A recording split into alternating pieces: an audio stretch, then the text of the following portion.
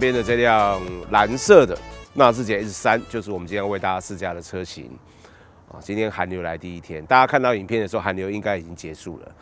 好，那这台车其实我们之前没多久才刚试完，不过这次改款的重点呢，并不是在你看得到的外观或内装，而是有两个重点。第一个，安全，安全配备填满了；第二个部分就是隔音系统。做了一点强化，引擎、变速箱还是维持一样，甚至外观造型也是类似的。另外一个重点就是它的价钱还有等级也不一样，目前只有四个等级。我们今天为大家试驾是最高的六十八点九万，入门是五十五点九万。不管你买到任何一个等级，基本的主被动安全都一样，也代表就是都有六气囊，都有循迹系统，所以也可以这么说，所有的车厂不要再拿气囊数的多寡。来做成本上的考量，气囊一颗其实没有多少钱，也不要说循迹系统很贵，所以循迹系统是他们很大的成本的负担，这个都不是重点了。我可以接受，就是其实这台车就是我讲的一样，我可以接受没有荧幕，但是我没有办法接受安全配备要分等级。那我们今天为大家试驾就是全新小改款的纳智捷 S 三。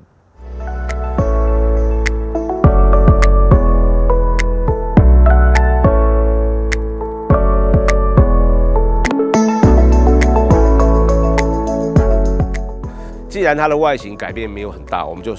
大概的为大家介绍一下它这次的外观。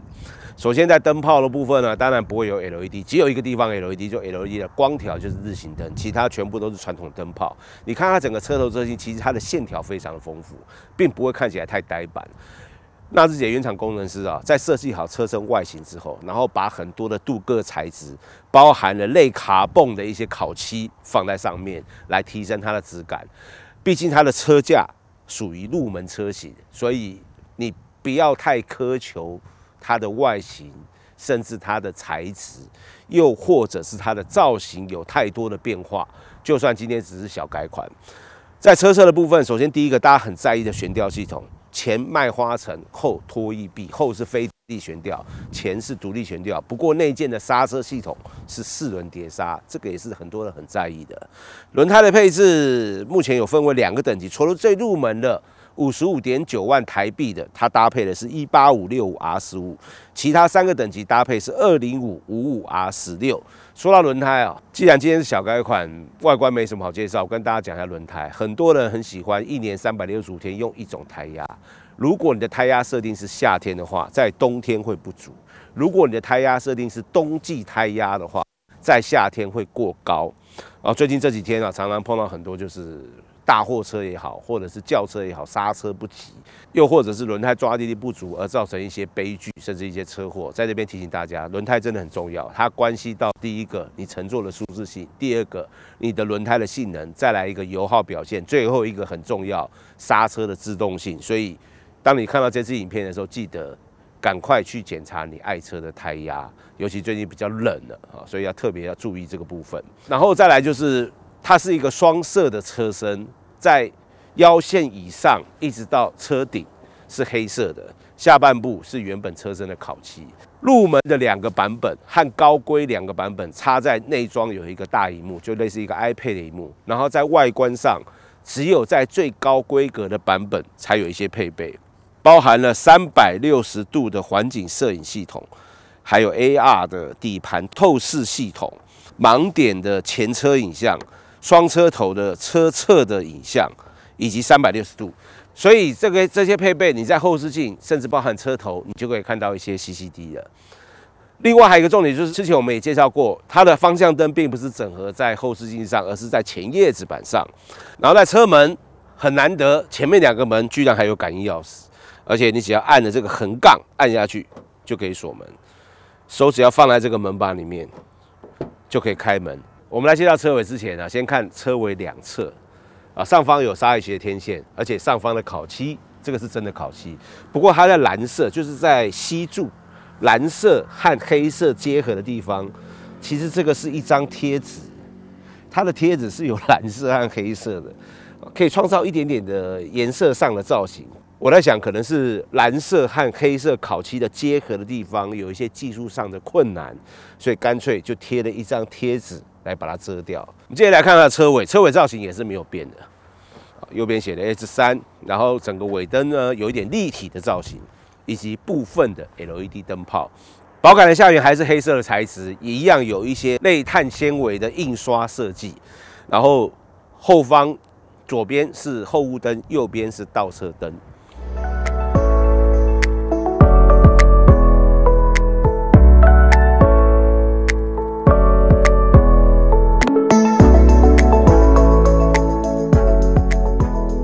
我每次打开纳智捷任何一款车型引擎盖，都会觉得哇，它好重。但是我想重是有它的原因的。不管是我们今天试驾 S 三，甚至我之前在西班牙巴塞罗那水为大家介绍那个撞击测试的 U 五，又或者是 U 六，它每一台车啊，其实它的整个车头的结构，你可以很明显看出，就第一个引擎盖很重，所以它钣金非常的厚实。第二个部分就是纳智捷的车，其实它的重量都比较重。虽然会增加一点油耗，可是我想大家是可以接受的。打开引擎盖有隔热棉，但是没有油压顶杆。上面告诉你很清楚，DVVT 可变气门，不过还是一具1.6升的自然进气引擎。原厂虽然特别强调，水野教父有做过调整，但是它的马力数据包含的峰值还是一样的。它的排气量是1556 cc，最大马力116匹，扭力的表现15.3公斤米，压缩比一样是11.1。自然进气，你要做大幅度的调整，其实是比较困难的。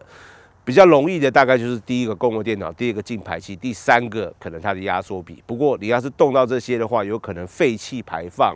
又或者是噪音，可能就没办法过关了。呃，所以这次的引擎并没有做跟动，甚至包含了变速箱一样搭配的是可以模拟七速的 CVT 无段变速。原厂公布的平均油耗，在最入门的版本。十四点八一公升可以跑十四点八公里，其他三个比较高规的等级是十五点一，能源效率统一都是二级。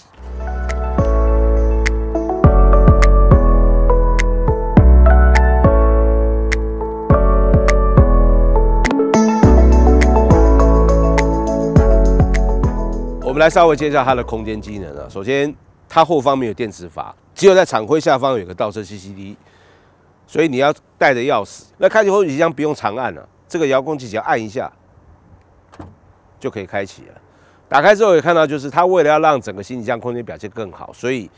门槛和行李箱底板落差非常非常大，也因为这样才可以创造四百七十公升六四分离椅背没有倒平的情况下，有四百七十公升的行李箱容积。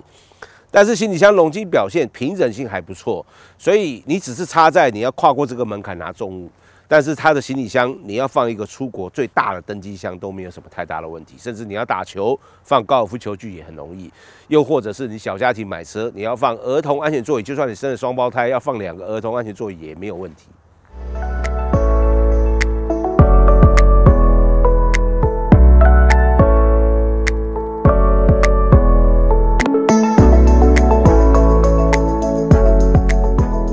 来介绍它的内装，其实它的内装大致上和小改款之前是差不多的哦，那只差在我们刚刚所强调，就是它的规格等级剩四个，以及价钱做了一点跟动。不过安全配备却填满了啊！你看到 B 柱上面这边写的 Airbag，所以它是全车系搭配六气囊，另外还包含了循迹系统，循迹系统的开关在这里。好，我们来启动引擎，有引擎启动钮，以及前面两个门有感应钥匙。如果你买到入门两个版本的话，它就没有中间这个十二寸的大 iPad，然后最顶级的版本才有周边的这些摄影机，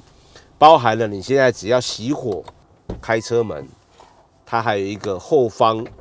CCD 摄影的镜头，主要是告诉你就是你不要很多人开车门就习惯这样就啪就开，然后摩托车就撞就撞上来了啊，所以这个也是一个安全配备啊。那我们刚刚大概花了十分钟来设定。像这个是原厂提供的 HTC 的手机。当今天你要做连线之后，要记得第一个蓝牙要打开，跟它配对；第二个 WiFi 也要打开。再来一个就是你在做配对动作的时候，不能够去接它扶手后面这个 USB。等到你做好了所有镜像输出之后，最右边有一个手机模式，按下去之后，手机里面有个 App，打开之后设定好无线投影，跑出来之后呢，这边有一个 Sync Plus，然后后面有它的编号，你把它按下去之后，接着就可以做手机的无线传输了。那设定好之后，第一个它的画面的质感不好，因为它是透过无线的。第二个就是它这个画面有点小，你当然可以把它放稍微大一点，可是放大一点之后更惨，就是它的字都看不清楚。你可以在手机上操作，也可以在这个荧幕上去控制你的手机，它算是一个镜像输出。而且这个模式另外一个部分就是，你手刹车拉杆只要放下来之后。它就取消了。它告诉你，为了安全考量，你不能在开车的时候去操作手机或者是荧幕，你一定要拉着手刹车，然后拉了之后再去切换一次手机投影。不过，通常会用手机投影，大概就是用手机内建的导航。但是 S 三在最顶级的版本，它还有一个内建的车机的导航，所以你用它车机导航其实就够了。然后包含了行车 AR，也是最高规格才有的透视底盘也好。周围的很多镜头，不管是实际的镜头或者是虚拟的镜头，全部可以在这边做显示。以及你打方向灯的时候，会告诉你车辆旁边是否有障碍物的一个 CCD 照射。然后下方空调系统是单区的，变速箱一样是 CVT，而且可以切换到旁边的手排模式进行切换。方向盘后方没有换挡拨片，然后在方向盘上面左边就是声控加上音响的大小声，以及多媒体和电台的切换的按钮。右边定速装置还有蓝牙电话的接听，然后在方向盘左边有一排密密麻麻按钮，有一个很重要，就是后方行李箱开启按钮，它是按压式的，并不是拉杆式的。座椅都是手动调整的，不过它的座椅的发泡棉这次做了改变了，变成更偏向舒适。其实不要说纳智捷了，包含日产。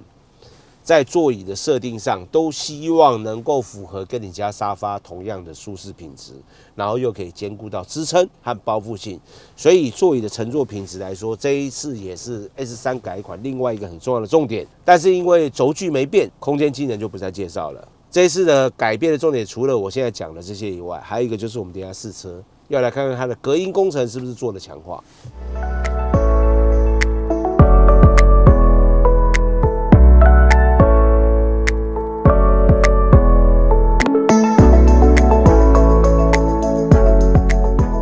我之前在日本的 Autopolis 试驾 U 六的时候啊，我对它的评价非常好，而且非常超值的一款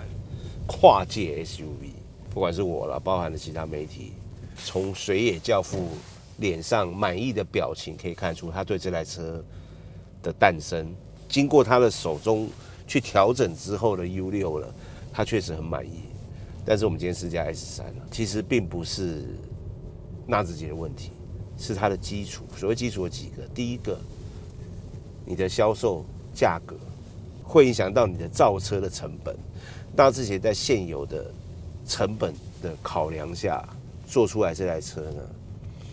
它确实就是符合一般代步，然后它尽可能的把它所有可以用得上的配备，包含的荧幕也好，包含了很多的镜头，又或者包含一样的仪表板、一样的方向盘。以及变速箱，加上这具引擎，然后把车价压低。我们也不能怪纳智捷，其实就是只能这样子了。除非今天假设 S 三卖你卖到七十万、八十万，然后把很多东西的质感大幅的提升，包含引擎可能装上 GT 二二零的引擎，或是 GT 的引擎，那很多人会觉得说，那我宁愿去买什么买什么买什么。所以那自己很清楚，就是把价钱做区隔。你要最入门的就是 S 三，那。很多人去展这件试车，可能也会先入为主，觉得说我花六十万、六十出头万，我可以选的车子包含了大家所知道的 T 牌、H 牌，甚至 F 牌，然后再来比这台，在安全配备上，就是我们看到的菜单明细，它确实是比较好。可是，在实际驾驭起来的感觉呢？这具引擎，第一个它的噪音还是明显的一点，第二个变速箱反应稍微慢了一点。这个在我之前试驾 S 三的时候，我曾经就讲过，它的变速箱可能在需要做重新的调整和设定。我记得那时候我讲出来啊，因为网络上一片倒的说这台车的引擎出力、底盘表现很好，所以啊，只有我说它稍微有有点要加强的空间，然后好了，我就被围剿了，也不知道谁来围剿我了，然后就说了一堆什么你乱讲，你根本不懂什么什么，讲讲了一堆。那我今天再试到 S 三还是一样，就是它的油门踩下去，你踩得很深，伴随而来就比较大的噪音，以及一点空空的感觉。那踩得很浅，可能没办法达到你要的速度。但是这一次的座椅确实做了升级的，所以你乘坐起来的舒适性表现不错，还有支撑性表现很好，没有什么包覆性，所以左右侧倾的包覆性不够。但是背部的支撑还有整个发泡棉的设定呢？不会像一台很入门的小车，方向盘的辅助力道是很轻的，所以你很容易上手。然后再来一个部分就是右脚的油门踩踏很纤细，但是很相信，你的踩踏的比例要角度要大一点啊，因为它踩比较深，才会有你要的动力。最后一个就底盘了，这个底盘并不是底盘的问题。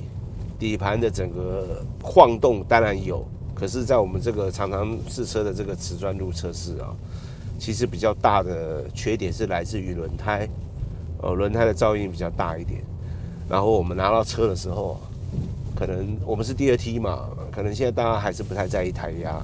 所以这个胎压打到二六零 kPa，大概是三十七 psi 了。我们是第二梯，之前这台车不知道是谁试的，他也没有去降胎压。所以他就维持这个胎压在开，我们现在把它降到三十一到三十二 psi，大概是两百一、两百二 kPa 左右，还是觉得有一点点弹跳产生在后轴。那我没办法想象前一家媒体是这台车的，它三十七 psi 是怎么开的啊？所以后轴的弹跳还是有，轮胎的噪音还是稍微大了一点。不过这一次。那自己特别强调的东西，我都感受出来了，包含了座椅的发泡棉，包含了安全配备这几个部分，它是有进步的。但是我一开始所讲的先天的条件，它所给你的就是一具一点六升自然进气引擎搭配的 CVT，这个部分你就不能要求太多了，因为它先天，你不能拿它跟现在大家流行的涡轮增压来比较，加上自然进气引擎。你要做马力上大幅的提升，确实是比较困难的。那以先天的条件下呢，他就只能做这样子。所以纳智捷这次特别强调的重点就是，我补足安全性，让全家出游的时候，或是你上下班通勤有更好的安全，以及如果你买到比较高规格的版本，有一个十二寸的荧幕，让你的扩充性更好，以及驾驶辅助更完整。这个我想是 S 三诞生的目的。啊，那我们今天试驾的心得呢？也许可能会有些人觉得说，哇，你怎么那么毒舌？但是我只是把我开这台车的感受很完整的表达给每个消费者，大家去试车的时候，可以不妨去体验看看我今天所讲的一切。